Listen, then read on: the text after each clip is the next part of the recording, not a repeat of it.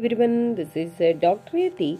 Now today we are going to explain if the direction cosines of a line are proportional the 1 comma minus 2 comma 1 find its uh, direction cosines direction ratios of the line are 1 comma minus 2 comma 1 dividing with root 6 why because here direction ratios comparing a comma b comma c dividing root 6 means formulae. Here direction cosines of the line are a by root of a square plus b square plus c square comma b by root of a square plus b square plus c square.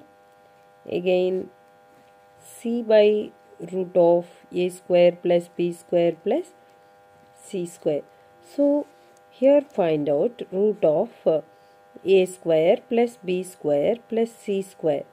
That is root of uh, 1 square 1 minus 2 whole square 4 plus 1 again 1 square 1 that is root 6 now here applying this formula a means 1 1 by root 6 b means minus 2 minus 2 by root 6 and uh, c means 1 1 by here root 6 means uh, root of a square plus b square plus c square value root 6 this is all direction um, cosines of the line. Okay